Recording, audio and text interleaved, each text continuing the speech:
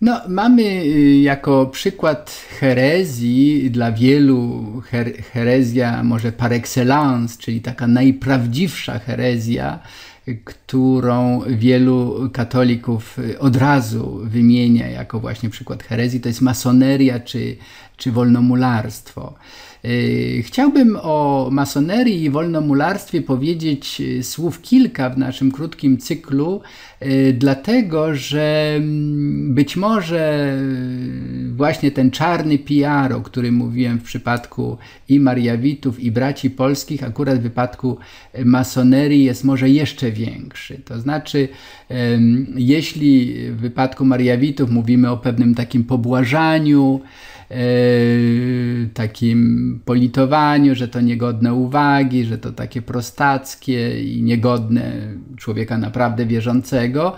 W wypadku braci polskich to w ogóle ich się traktowało jako nie chrześcijan, jako mm, tych, którzy w ogóle nie mieszczą się e, w, w tym E, światopoglądzie chrześcijańskim, to o masonach to nawet z daleka się ich nie traktowało za e, ludzi godnych uwagi czy szacunku, z prostego powodu, że e, masoni no, powstali i nigdy tego nie kryli w opozycji po prostu do każdej formy zinstytucjonalizowanej religii, w tym również oczywiście religii mm, katolickiej, yy, różnych kościołów protestanckich.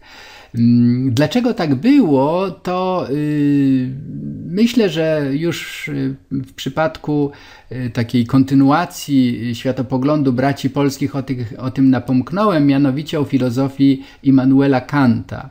Otóż masoneria pojawiła się właśnie w okresie mm, oświecenia, czyli 300 lat temu, i dość szybko masoneria opanowała rzeczywiście bardzo szerokie kręgi no, elit intelektualnych. Bardzo wielu ludzi się do, do masonerii y, przyznawało, bardzo często czerpało inspirację właśnie z tej e, oświeceniowej ideologii, w skrócie nazywanej właśnie masonerią.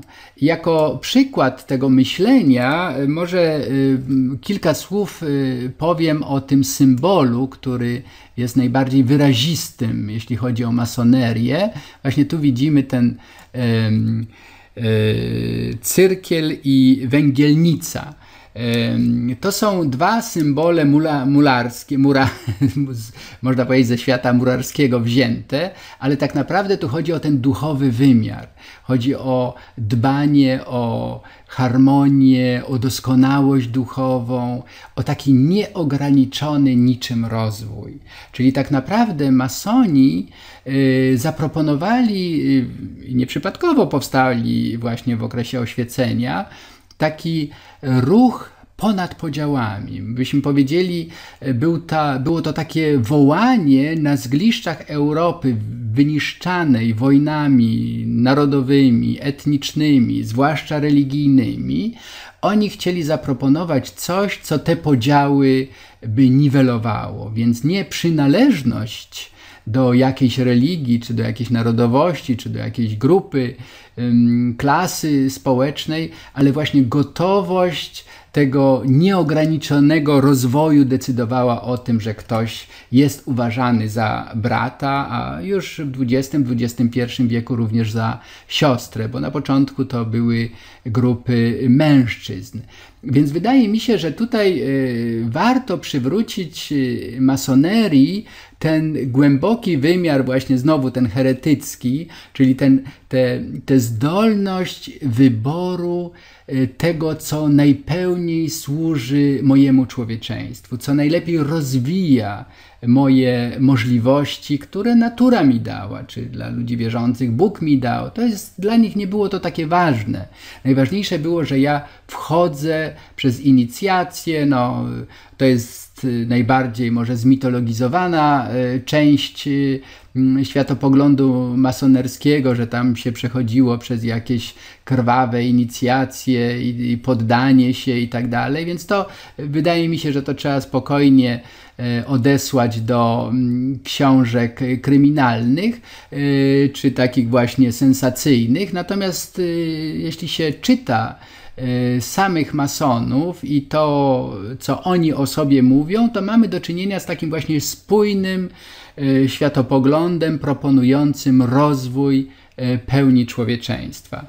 I żeby nie być gołosłownym, może warto y, przy okazji wymienić kilka nazwisk, które rzadko może są y, kojarzone z masonerią. Y, na przykład z Polski. Czy ktoś podejrzewa, że Adam Mickiewicz, nasz wspaniały wieszcz, był masonem? Otóż był. Czy ktoś podejrzewa, że Aleksander Puszkin był masonem? No był. Lew Tolstoj, Aleksander Fredro, e, czyli pisarze, którzy napisali ważne rzeczy o, e, o tym, kim my jako ludzie jesteśmy, którzy stworzyli no, kanon literatury, do którego się będziemy dopóki będzie istniała nasza cywilizacja, odwoływać. No wspomnę Amadeusza Mozarta, jego boska wprost muzyka wyrastała właśnie z tej nieograniczonej wolności, jaką on odnalazł właśnie w masonerii. I wydaje mi się, że to jest bardzo istotne, żeby przy, jakby yy, popatrzeć na lustro, jakim niewątpliwie wszystkie herezje są dla religii zinstytucjonalizowanych, takich poddanych właśnie dogmatyce, surowej dyscyplinie, tutaj mamy wręcz coś przeciwnego, taką rozbuchaną fantazję i pełen nieograniczony rozwój. W Polsce y, po upadku y, komuny to nie jest przypadkowo, że w okresie komunizmu y, masoneria, masoni byli prześladowani, no bo to był system, który właśnie miał te ambicje jak matryca y, produkować obywatela posłusznego, oddanego jakiejś idei, więc nie ma nic bardziej sprzecznego z ideą masońską niż totalitarny system polityczny. Jeśli y, ktoś chciałby naprawdę wiedzieć, kim są polscy masoni, warto się, y, sądzę, zapoznać z pismami, z pogadankami dostępnymi również online profesora Tadeusza Cegielskiego, wykładowcy historyka znakomitego Uniwersytetu Warszawskiego, który był y, przez wiele lat również takim przełożonym loży Y, tutaj y, warszawskiej czy polskiej. I przez rozmowy z nim, y, czy przez zetknięcie się właśnie z ludźmi, którzy podobnie jak on są masonami dzisiaj, możemy się przekonać, że masoneria to jest właśnie tak jak 300 y, lat temu to było, to jest grupa ludzi, którzy po pierwsze dbają o własny rozwój, ale przede wszystkim, i to jest coś, y, co być może tak bardzo drażniło od początku Kościół katolicki, bo oni byli oddani dziełom charytatywnym. Oni dzielili się z tym, co mieli, bo zwykle to byli ludzie sukcesu, ludzie bogaci, yy, którzy uważali, że to, że sami się rozwijają, że mm, te potencjał ludzki rozkwitł w nich, mogą też dzielić się z, z własnymi dobrami z innymi. I to jest coś, co sądzę jest bardzo potrzebne dzisiaj. Ja nie chcę tutaj wpadać w jakieś e, polemiki ideowe z neoliberalizmem czy z kapitalizmem, ale wydaje mi się, że w masonerii można odkryć jakąś alternatywę do tego, co dzisiaj nazywamy konsumeryzmem, gromadzeniem jak najwięcej środków e, materialnych, Otóż w wolnomularstwie, właśnie w masonerii, jeśli ceni się coś, to, to, to, to wartości duchowe, intelektualne. Y, na to się kładzie nacisk. I ja sądzę, że tak jak mówiłem w wypadku braci polskich, że być może ta herezja tak niesłusznie marginalizowana i prześladowana rozkwitnie w wieku XXI, również masoneria. To oczywiście przybierze inne formy, inne kształty, ale ta idea, że nie to, co nas dzieli, ale to, co nas łączy, jest najważniejsze, to bardzo się wpisuje w takie y, utopijne myślenie XXI wieku, gdzie właśnie przypominamy sobie, że jesteśmy przede wszystkim y, ludźmi, którzy mają wiele wspólnego i na tym powinniśmy się skupić. Tym w moim przekonaniu jest masoneria.